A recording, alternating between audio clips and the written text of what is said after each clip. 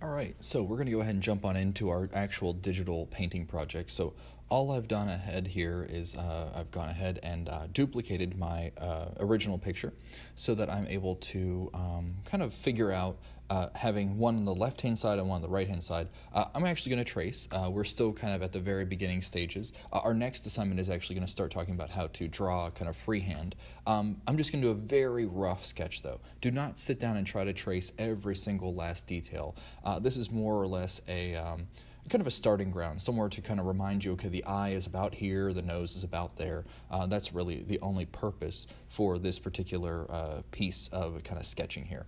Uh, I've just pulled up a uh, regular old paintbrush, uh, kind of grabbed like a neutral kind of gray tone. All of this is going to get dropped out eventually. Um, we're going to change up the um, uh, the opacity. So uh, again, just a quick, really rough little sketch. Once I have this sketch, like I said, I'm going to go ahead and make a new layer.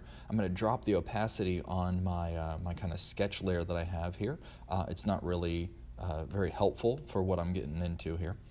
Um, so that looks pretty good. I've got kind of a rough overall. Again, notice I'm not really getting detail. It's just kind of a placement, okay? Uh, specifically also, I'm kind of outlining where the heaviest shadows or the brightest highlights are. That's going to be helpful as I start painting. So uh, there you go. So that's kind of my traced layer. Uh, I'm going to go ahead and play with my paintbrush a little bit. Now, this is where uh, some things are going to come in. So you can play with uh, your opacity on whatever color you're using for that brush. Uh, you can always steal colors using the eyedropper tool. And, uh, and, again, you get that just by holding down Alt Option. So I'm going to go ahead and make a little palette. Uh, I'm just doing this. You can make this on a separate layer. I'm doing this on the same layer that I'm painting on. I'll erase it later.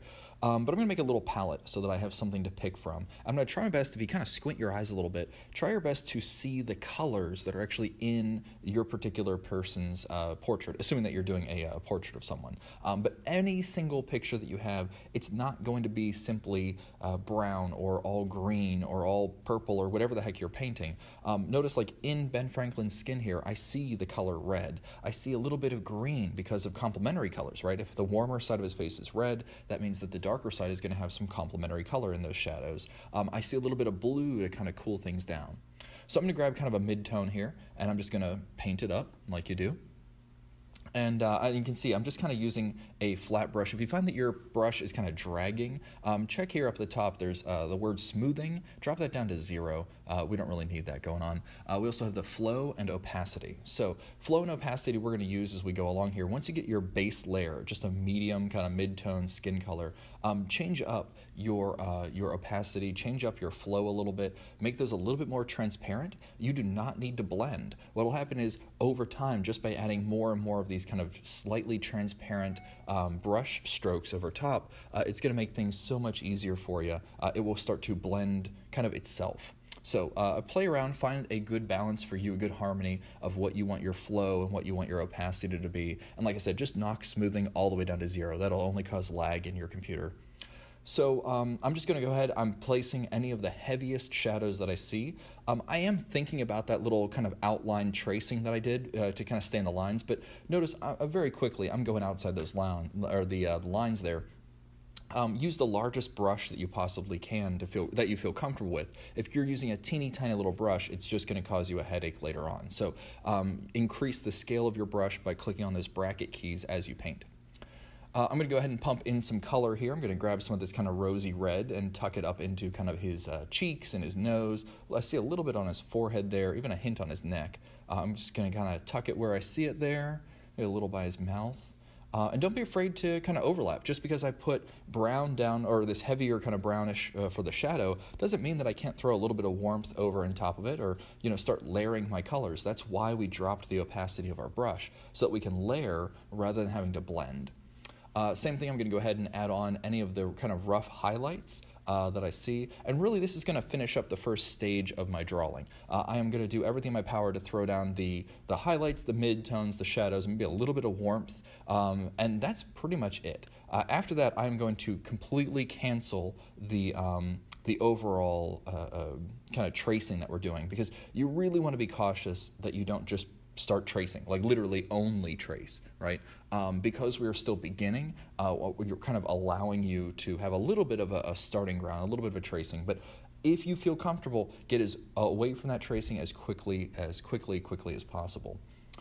So at this point, I'm feeling pretty good. Uh, I'm going to play around with some colors here a little bit. So don't be afraid to uh, grab a new color, even if it's one that you don't think is actually in the picture. I see some blues in his hair, and I don't know if they're actually there, um, but that's what I see. So I'm going to go ahead and just pump some kind of neutral uh, blue in there, and I'm just going to grab any of these kind of colors that I see. Um, many times we are uh, kind of stuck in this Crayola mindset that we should only be using, you know, green for trees and red for apples and so on and so forth. But if you take the time to actually look at these real world objects, uh, you'll find very quickly that every object ever, skin, fruit, uh, you know, random random things you see around you, uh, you know, a desk, a chair, they have hundreds of colors inside of them. Do not restrict yourself to only using uh, one particular value. This is not a monochrome painting. This is a colorful painting. Put purples and greens and really accentuate the color that's inside of your overall design. So I'm just throwing down again some quick little base kind of colors. And again, I've got my opacity lowered and my flow lowered. So you can see as I paint multiple layers, it gets a little bit darker. Every time I take another stroke over top of it, uh, it gets a slightly hint darker. And that's how I'm going to build up shadows and that's how I'm going to blend uh, by using that opacity to my, uh, to my advantage. So I see a little bit of reflected light. Uh, he's wearing a very red coat, so maybe he has a little bit of that red in his face as well, kind of reflecting up into him. And uh, I'm going to grab a little bit of uh, the green and blue as well, kind of put it over into his shadows. Uh, again, that green is going to help kind of neutralize some of the red that's on his face, so always think about complementary colors. Uh, red is opposite of green, blue is opposite of orange, uh, and, uh, and as we go along here, then we can get to, you know, purple is opposite of yellow. I'm going to use a little bit of blue to kind of uh, cool him down, make those shadows a little bit colder, uh, make the other side of his face, the lighter side of his face, a little bit warmer with some reds and yellows. So at this point, looking pretty good. I'm pretty happy with it. And uh, we're going to go ahead and pause, and we'll start up the next time.